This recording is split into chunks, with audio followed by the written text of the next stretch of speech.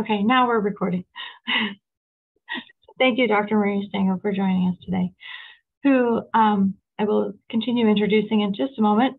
This is part of uh, ISU OER Week, and this is the last presentation of an entire week of presentations about open education resources, which include affordable resources and um, according to the State Board of Education, that includes links to library resources. So uh, they may not be free in the traditional sense of OER, they may be affordable. So, so that includes OAER. And uh, we invite you to attend the rest of our rec um, previous recordings through our website. It will be up as of next week. That will be out on Library News. And I will put that in our chat. One moment. Here is our ISU channel. And then for those of you who are a little bit unfamiliar with what open education resources are, here is the library's webpage about OER resources and projects that have been done in the past, and also the ITRC's webpage and how they can help with that process. We have a lot of support here at ISU and are really excited about open education resources. Okay. Thank you, Dr. Marie Stango, for joining us. She is a professor in history and teaches um, U.S. history and women's history. She researches and teaches in the fields of U.S. history and women's history, excuse me for repeating myself, and her interests lie in slavery and emancipation in the Atlantic world, women, gender, and sexuality, African and American diaspora studies, 18th and century U.S. history, unfreedom in American history, and the American Empire. Did I get that correct? Yes, absolutely. Great. So her previous uh, OER uh, experience she shared before with us um, in a general education course for history 1111, I call it, or 1111, US history. And this previous stipend uh, has been for history 2201, uh, women in US history. And with that, I hand it over. Great. Oh, one last caveat. Uh, as we move through your presentation, feel free to put questions in the chat, but we will reserve answering them until the end. So as you think of them, go ahead and put them in, but we will answer them at the end. Thank you. Perfect. Thanks so much, Laura. And thank you all for spending your Friday afternoon with me. Um, I'm really delighted to talk to you about some of the ways that I've incorporated OER um, as well as affordable resources into my courses. Um, I'm going to start by talking a little bit more broadly about what it is that I do in my history courses and what needs that I have uh, in terms of um, materials that I have students read. Um, and I think that will help contextualize some of the ways that I think about using open and affordable resources in my classes. Um, and I apologize if any of this is stuff that you already know really well. I think it's it's good to just start with um, start all on the same page. So I teach in the history department, and history texts, more broadly speaking, can very loosely be placed into two categories primary sources, which are sources that come from the time period that we are studying. So, say, for instance, I'm teaching a lesson on the American Revolution. Primary sources on the American Revolution would include things like the Declaration of Independence, right? Things from the late 18th century. The other, again, broad category of sources that we use in history are called secondary sources. And these are historians' interpretations and narratives about events. So, me writing a book about the American Revolution is a secondary source because, of course, I didn't live through it. I'm not a firsthand account. Um, so, this is an important piece of information to keep in mind because when I teach history courses, I like to assign both primary and secondary sources. And this was something that I encountered in exploring some of the OER materials that some resources were more secondary, some were more primary, and how do I balance the two?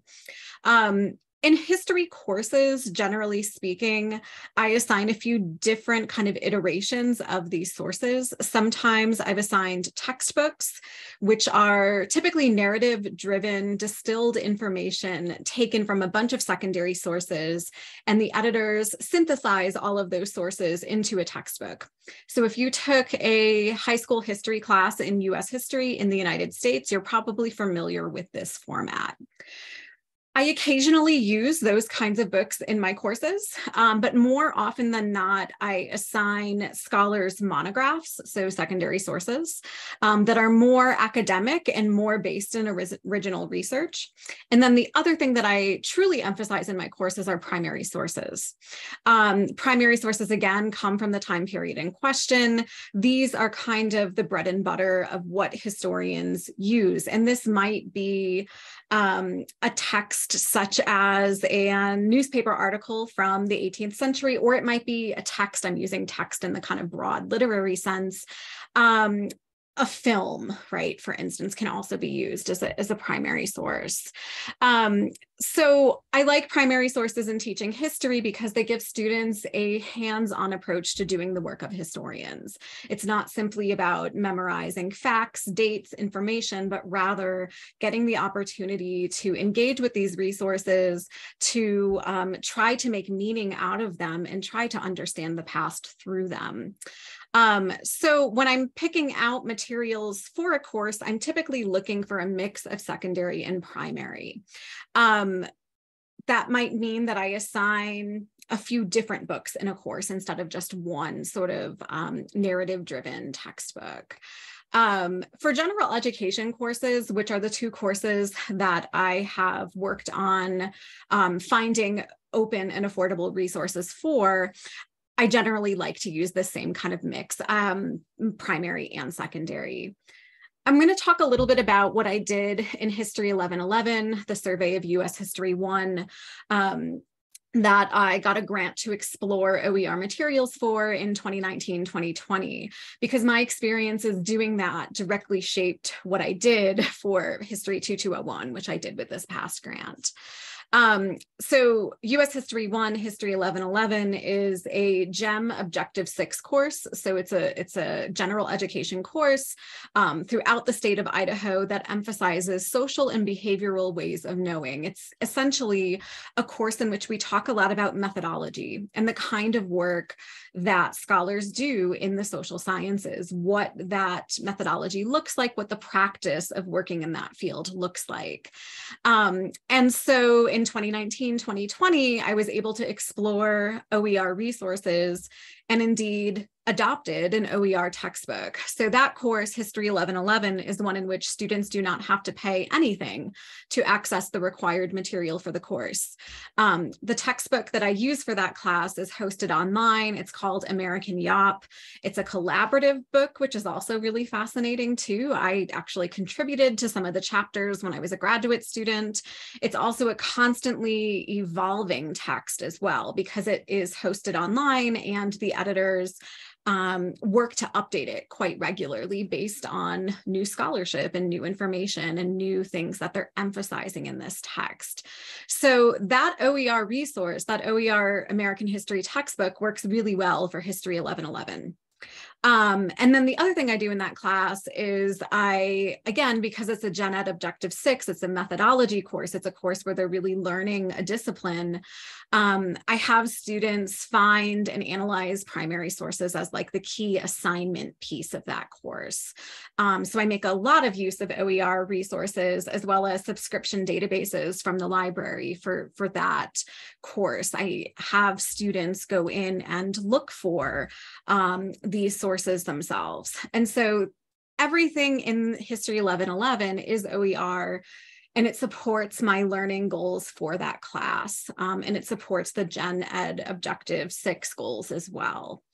So I was really, really hoping to find something similar for History uh, 2201, Women in US History.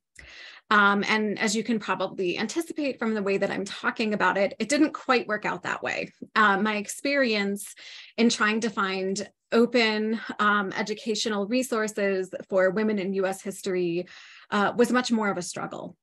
Um, history 1111, the US History Survey, and you know the course that comes after it uh, 11 12 which does more 20th century us history these are courses that every university in the country teaches um, and they're courses that in many states uh, students are required to take in fact so it makes sense that there were oer resources for that kind of class Women in US history is also a really popular course nationwide, but it's not a course, as far as I know, that any state mandates students take. Um, and some universities, particularly smaller colleges and universities, might not offer a Women in US History course. So I think that contributes to the fact that there wasn't an OER resource for women in US history um, because it isn't as broadly taught as the US History Survey is. Um, so that's that's part of what shaped my experience of doing this work. History 2201, Women in US History, is also a general education course. It's not a GEM course. Um, it's an ISU Gen Ed um, Objective 9 that speaks to cultural diversity. And I'll just read you one of the objectives from um, Objective 9 identify the defining characteristics of culturally diverse communities in regional, national, or global contexts. Um, this is much more of a content driven course. And those objectives in Gen Ed 9 are much more content driven as well. Um, so it's not to say that I discard skill building entirely. Any opportunity I have to teach undergraduates about what it is that historians do, how fun research can be, um, how it's much more than just memorizing dates and names, is an opportunity I'll take. However, the emphasis in that, again, because of where it fits in the gen ed curriculum, is more content driven. Um, so the textbook that I was looking for for women in US history for 2201 needed to cover the content areas um, that I wanted the course to cover. It wasn't necessarily about pulling things together to emphasize skill building or giving students the opportunity to find resources, though I do a little bit of that. Um, it was more about thinking through a textbook narrative that could very neatly encapsulate some of the things that I do in lecture, some of the things that I have students do in discussion, some of the kinds of assignments I give in that course as well. Um, History 2201, 2201, excuse me, is also a course that I teach online asynchronously, which presents it its own set of concerns. Um, I've taught History 1111 in a lot of different formats, including in person. Um, 2201, I've not taught at ISU in person before. I will in the fall, so I might re-examine some of these materials again, um, which also means, you know, I think when we're teaching online asynchronously, one of the things that we need to be aware of in designing our courses is that it's not um, as easy for students to ask for clarification as it is when you're talking with students in the classroom. So for instance, in online asynchronous courses, I develop pretty robust, robust rubrics. I mean, I use rubrics in all my courses, but these are highly specific. Um, my slides include more text than they do for an in-person class. Um, and the text texts that I assign are going to be more comprehensive than what I might give in an in-person class. So that has also shaped what I was looking for in 2201, the format that I've offered the class in. Um, so I wanted a textbook for 2201 that would cover both primary and secondary text. I wanted it to have basically everything. I realized I was sort of looking for a unicorn here, um, but I was familiar with some of the resources available for teaching US women's history and knew that there were things like that out there. Um, one of the first things that I did was compiled a list of textbooks in the field. Um, and it's is it possible for me to share my screen? I can actually show you what I what I did. Okay.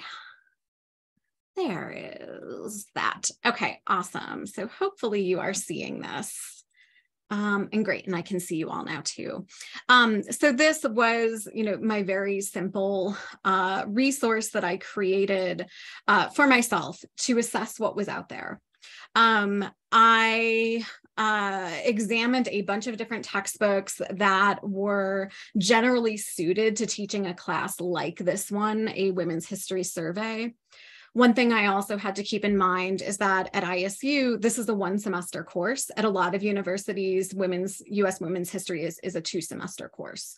So you'll notice some of the textbooks um, do not cover the entire span of US women's history because many universities teach it as a two course sequence instead of one. Um, what I did is I assessed whether the course covered or whether the textbook excuse me covered the time period i wanted to cover in the class whether they included primary or secondary sources or both um, and then I had a bunch of different price calculations, which I can talk about how I was thinking about those in a moment. And then information about, you know, the, the actual content that was covered, because again, this is a content driven course um, I found that of these nine textbooks that I assessed, three of them did the things that I wanted them to do. They had the expansive coverage of the time period I wanted to cover, and they included both primary and secondary sources. The other ones I looked at, I kind of crossed off my list for a variety of reasons. So, for instance, this one, US Women's History Untangling the Threads of Sisterhood, it's a very fine book, um, but it's a secondary source reader with 10 essays written by historians, and it only covers modern US history, 1865 to the present. So, it wasn't really suited for what I wanted in this class. These three um, at the top, numbers two, three, and four here, um, were basically my main contenders. And there is a price difference in these textbooks. Um, I, in any of my classes, am, am cognizant of the price of textbooks. And I realize that in history, a lot of our books are not as expensive as they might be in, say, biology or chemistry. Um, but I do try to keep costs down. Um, one of the things I was really concerned with was the rental price of the textbook because I've noticed many of my students rent their textbooks now. They, they're not necessarily purchasing them, but it's very common for them to rent. I also wanted to pay attention to the availability of an ebook. I've noticed a lot of students really do prefer ebooks. However, I do have a lot of students that want the physical text. They want the print copy as well. So I was looking for something that could be affordable in either format, either an ebook or a um, print textbook. And so I went with this one, Women's America Refocusing the Past by Linda Kerber, um, as well as some other editors. It covered the time period I wanted to cover, it covered the content I wanted to cover. Um, it was the lowest price of these three options um, and had more used copies available too, um, so that students could, you know, go on whatever their favorite used book website is and find cheaper copies than buying it new. Uh, and it also had a relatively stable rental price. Um, one of the things that I noticed as I was preparing for this presentation is that the data that I compiled this summer about the prices had changed. I needed to update everything. Um, most of these textbooks were about $15 cheaper when I looked in is it July? Um, so the price of publishing, the price of books has gone up. You know, we've we've talked about the price of um, everything going up. generally speaking, that has affected textbooks. Um, luckily, the ebook price for the book that I use remained the same. That did not go up. Um, I was just I was very surprised by how quickly and how much um, the cost went up. So I think that might be a good reminder that if you have found affordable books in the past, um, or you've been using the same books for a particular course, you might want to go and just see what it's retailing for now, um, because I would suspect that the price may have changed. And I found that with virtually everything um, on my list here. Um, okay. so as you can see from my spreadsheet there that I showed, um, there wasn't a free resource available. Um, I did find that the New York Historical Society has a online women's history textbook, but it's it's meant for high schoolers. It's also incomplete. Um, it doesn't have anything in the past like 50 to 60 years, which I think is actually really vitally important uh, to teach in any history course, uh, contemporary relevance. Um, so that did not really fit my needs. Um, so again, the thing that kind of influenced this was content driven, but also price driven and as well as format. Um, so overall, um, I have a few more thoughts on this process of looking for OER texts, as well as the process of doing so for History 1111, which I did a few years ago. Um, you know, I think that it would be really great if there were an OER textbook for US women's history. Um, however, in history, in our discipline, writing a textbook is usually a five to six year project. Uh, it's also usually a project that is quite expensive, that requires a lot of licensing, uh, a lot of permissions, not only of things like images, um, but also to either reprint or to um, synthesize or print in an edited form other scholarship that people have written on the field uh, in the field. And usually as well when we're talking about history textbooks we're talking about multiple co-editors who work across many different time periods I basically live in the 1830s and 40s. That's what I study, and that's what I know really well. And even though I teach a wide span of time, um, if I were tasked with selecting the most important historical texts about the 1830s and 40s, I'd be fine to do that for the 1950s, I would struggle. I could tell you the things that teach really well, but as far as the past three decades of scholarship in that field, we're talking thousands of books. Um, so subject special specialists are important in writing textbooks, and that's often why you see, especially for history books, like seven or eight different editors listed um, for, for a book. Um, the other thing that I'll say, and I know that this has come up in other conversations about OER at ISU, uh, as well as other places, not, not just ISU. Um, in history, textbooks are not original research, and they're generally not peer reviewed in the same way original research publications are. So they are not part of our tenure and portfolio tenure and promotion portfolio package um, because in history we really do emphasize um, the the original resource research publication, particularly books, uh, as being the marker of whether or not you get tenure. So there's not that kind of like institutional, like within historians, institutional uh, incentive to write a textbook, particularly given how time intensive it is. Um, and then the other thing that has come up in terms of OER is this issue of um, publishers in the field of history. So, publishers in the field of history generally do want OER. They want people to read the books that historians are writing. However, um, usually book contracts will indicate that if you want your publication to be available freely online, you need a subvention from the university uh, that you work at to pay for this. Um, typically about eight to ten thousand dollars, depending on which press you're publishing with. Um, and at ISU, we do not have those resources. Um, and I don't believe in Idaho in general, we have those resources. So that might be something to think about going forward if we're thinking of ways to fund OER, particularly at the state level. Um, if this is something we want to invest in, I think we need to think about what our researchers and scholars at the universities are doing and what are the ways that we can make their publications available freely um, in an online format. That does require money but i think you know as we've seen with with the adoption of oer textbooks in the classroom it pays off for our students. Okay um, and i'll i'm happy to talk about any of this and answer any questions but i'll end my presentation there Thank you so much, Dr. Marie Stango. I am so glad I remembered to hit the record button because you brought up so many good points that I'm hoping others will refer to later uh, because other people in the state do watch these recordings. And uh, there is a state push towards OER, and you brought up so many points that I hadn't thought of before uh, that I can see probably don't just apply to history, but do apply to other fields. Uh, Liz, maybe you can speak to this like anthropology. Uh, I could see it applying to other fields as well.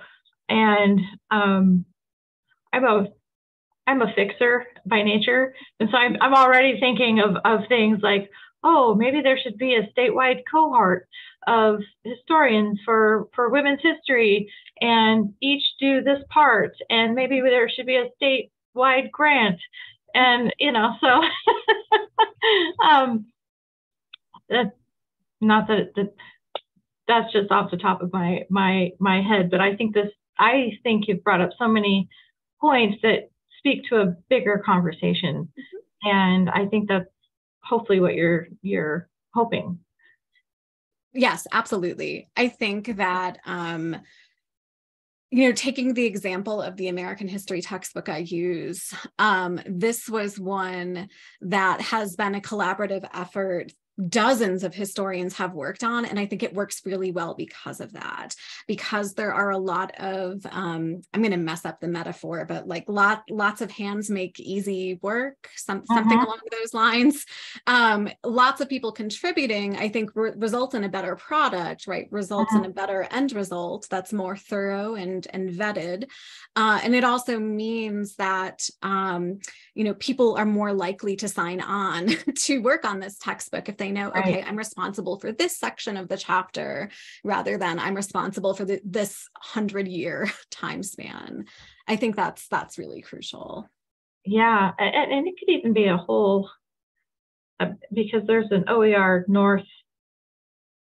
west group oh, oh and i'm going to mess it up i can't remember the name of it um, not just idaho oer but yeah, exactly. Many hands make light work. My mother used to say that to me all the time. um, oh. So Spencer has asked a question. Thank you, Spencer. Uh, how have students responded to your OER efforts? And maybe this would speak more towards your previous uh, U.S. history OER project uh, that you were able to implement. Mm-hmm. Sure. Um, but maybe this also talks about this textbook um, that you chose because it did fit with it does fit within the parameters of 08 OAER, which is open and affordable. Mm-hmm, mm-hmm. Yeah. I mean, one of the things that I really love about using an OER resource in History 1111 is students have their materials on day one, um, particularly because it's an online resource. Um, we can pull it up together in class. We can find exactly what we're talking about um, and nobody falls behind, right? Because it's, it's all available from day one. I think students really like that textbook. They find it um, quite accessible. They find it quite readable. It's a high quality book um, that I think competes with any of the print textbooks out there for US history. So generally the response has been really positive. And I have had students say to me that um, they really appreciate that they did not have to purchase anything for that class, that it was a relief to not have to think about um, how they are going to get the funding how are they going to get the money to purchase this this book?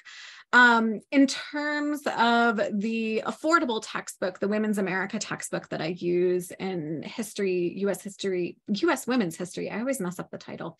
Um, that one um, i think because it's available as a digital book as an ebook um, that can be rented fairly inexpensively. I've noticed most students access it that way. Um, mm. By and large, the majority of my students rent their textbooks, like and and ebooks are extremely popular. Though, of course, at ISU we have a lot of adult learners. I have a lot of adult learners in my classes who and, and this is like not an official study that I've uh, vetted in any way.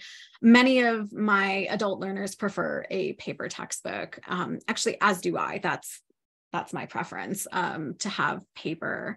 Um, that might be a generational shift, maybe, maybe not. Um, but I think that regardless of what kind of text I'm using, I want it to be available in multiple formats because we have students who prefer all of these various formats. So I think we need that flexibility.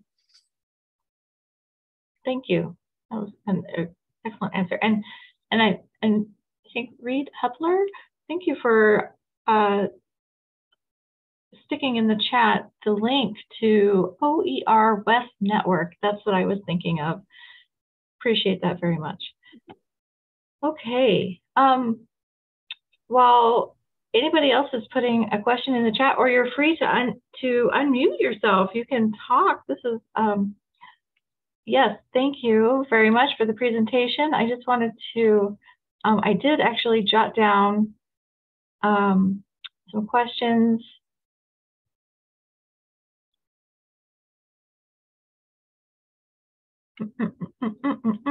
oh, I had one one question that I thought was, and and and then I think we can can wrap it up. Ah, Liz, I'll let, I'll I'll I'll ask yours first, and then we'll wrap up with mine. Can you clarify what is considered affordable? Mm -hmm. Mm -hmm. Yes. This is a great question. what is considered affordable? Um, I cannot remember, and I feel horrible. I cannot remember the name of the person that I met with in the ITRC who helped me um, with this project. But when I initially showed her the matrix of my textbooks, I was really worried because like, none of these are, are free, which is really what I was hoping for. Um, and her response was, oh, okay, but that's, you know, that would count as affordable. So I'm not sure what the threshold is. I know that we have those. Um, and I'm sure you know this, Liz, and have seen this, but we have the ability now when we list our courses on Bengal Web to indicate the cost of materials, which is which is awesome. Um, and I believe this fits into the second tier of that category. So it's not the cheapest, but it's it's somewhere in the middle. Yes, I think it was Kim. That sounds right. Um, who I met with and and helped me with this project there's been some discussion um, in certain groups on campus um, that this move toward um, publicizing for students um, the uh, cost associated with the course in terms of textbooks um, will lead to students selecting courses with no cost or low cost over others. Um, and in some uh, disciplines, it's really challenging to get away from those really high priced mm. textbooks um, because you know, in, say for chemistry, mm-hmm. um, the the textbooks can cost $150, and you need something that presents it that clearly. Mm-hmm. Um, for me personally, I have um, at, starting next semester no textbooks for any courses ever. That's it. I'm done. Um, but um, but that's because there are some really good OER resources, and the um, especially in linguistics. For a while there weren't. There were for phonetics, there is, okay, I say that I'm not requiring a textbook. There is a textbook that you can get for $7, or you can use a free website um, that is basically the textbook is uploaded now. Mm-hmm. Um, but uh, yeah, so I know that some people are concerned about that. I'm le- I'm not concerned as much given my discipline, but mm-hmm. also because I was one of those students who had to scramble to buy three $150 textbooks at any given time. Mm-hmm. Um, as a single mom of four, that was not always um, feasible. Um, but uh, but yeah, I'm wondering how you um, how you would respond to those concerns as people raise them. Mm-hmm. This is a really good question, Liz, and it's one that I hadn't considered at all. So I'm I'm really glad that you you that you brought it up and that you know um you know as a humanist our books are yeah my my books in my field are generally quite inexpensive. So i really appreciate that you brought this other perspective of what our colleagues across campus might be thinking about in response to some of these initiatives. And that's a really great point. I think in history our textbooks do tend to be less expensive across the board. I don't think, even among my colleagues who might not be using OER resources, I think there probably wouldn't be too significant of a disparity in in cost um you know we might have that first tier and that second tier or that third tier. I don't think most of my colleagues are assigning things that are you know a hundred dollars or, or so. There are a handful of textbooks in history um, there's a major problem series that I actually had on, on my matrix somewhere. Um, major problems in X history, major problems in American women's, uh, history of revolutions. They're awesome textbooks. They're wonderful, but they are so dang expensive. So I never ever assign them. And I think a lot of my colleagues feel really similarly. Even before we had OER initiatives, um, I think we were really aware of the price again because history textbooks do tend to be less expensive than in in some of the sciences. But that that is a really great question. Um, i know some of our colleagues in the social sciences have worked collaboratively to try to create um, textbooks. I think if i'm remembering correctly sociology has has done something like this. Um, and i'm i wonder you know what possibilities exist for colleagues in Idaho or in the Pacific Northwest um, teaching chemistry or teaching biology. Maybe that is the route to go. But yeah, I remember the same thing, Liz, of, of not being able to buy books. And sometimes, and we hear this from our students too, they they if they can't afford the books, they won't buy them and they'll try to pass the class anyway. Um, and so it just it starts our students off um, in an uneven playing field from from the beginning. It does. And I'm thinking of my current Discover Anthropology course where um, the textbook is is a good textbook and it's it's an inherited textbook for me. So, you know, I mm-hmm. inherited the course and so I kept the textbook, but I'll be mm-hmm. changing next semester. Um, but it's $85 for this textbook in anthropology. Mm-hmm. And so I know I, I, talk to students about how they can rent it, about how they can rent it online in a digital version. And um, but I know that there are still a couple of students who can't afford the textbook. And so for that reason, I I put students into teams where I know that at least some of the students have textbooks and they can share those resources with each other. Um, and I talk to them about not violating copyright law um, and how how you can share parts of a book without doing that. But it still means that those students are at a disadvantage if I'm using a textbook and relying on it heavily. Okay. So I'm trying to think about how I can get um, equally as uh, quality content um, without having a, um, a nice packaged textbook for the mm-hmm. students. Mm-hmm. So I'm, I'm really interested in this conversation. Mm. I really like that idea of teams. And, and you're right, it's not, it doesn't fix completely the issue, but it sort of moves us in a direction. Um, teams is a great idea. Um, mm-hmm. I have a colleague who does like book clubs as well. There's not one assigned book, but options that students can pick from. Um, and he has them sort of work together as they're reading through these texts. That might be another way that, you know, I'm done with the book and I can pass it to you uh, to read right. next time. I'd like to add to this conversation. Um, I'll put a plug into the library. If you have an extra copy, we can always put one on reserve. We do have a lot of teachers, instructors who will put an extra copy uh, on reserve at the library, students can, they can't leave the building with it, but they can check it out in building use only for two hours at a time. But it makes it so it is accessible if they're in Pocatello. Does not necessarily help online. and, and that's that was that was going to be the comment I was going to make is that I have used reserves before um, and I love it. Um, but uh, in this day and age, a lot of students are online, um, even if they are taking a synchronous class, not an asynchronous class. Um, but then, then it, you know, it would be really, it would be really wonderful if the library could have some sort of digital reserve where you could have access to the book for two hours um, in a day, and then maybe another next week you can check it out for another two hours, and and the digital access would expire.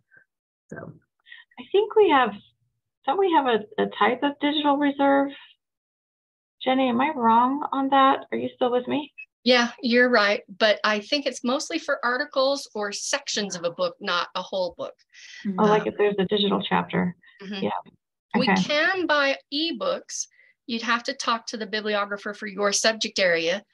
But our overall guiding principle is not to buy textbooks. Excellent. Otherwise, we don't end up a- being able to afford the um, the books that you need for your research. Mhm. Right. Let's see. Uh, ebooks can be bought for more than one user at a time. Yeah, a lot of our ebooks are one to three users, and the nice thing is, is that if they don't check them out, they can be a lot of depending on the publishing information, and you have to look at each one. Um, so many pages can be downloaded per day per user. So that's another option to check out as well, just the library. But-. But when a library buys an ebook, it Mhm. at least triples the cost compared to the paper. Yeah. So that that lies into the uh, OAER, the affordable, because library resources aren't free, even though they feel free for students. That that falls under the affordable category. So I I think this finally wraps us up. But I wanted to say this this ties into the question that I was going to ask is. Um, how does this influence your teaching pedagogy? Um, how did it? How did you adapt your teaching style um, for your OAER um, and implementing OER and thinking about the process. So if you have any final comments. Yeah, I'll say, I mean, I, I sort of want to say yes. Uh, yes, this has really um, helped me re-examine what I'm doing in my classes. Um, and I would say that's even true for the classes I haven't adapted, you know, with with 1111 or 1112.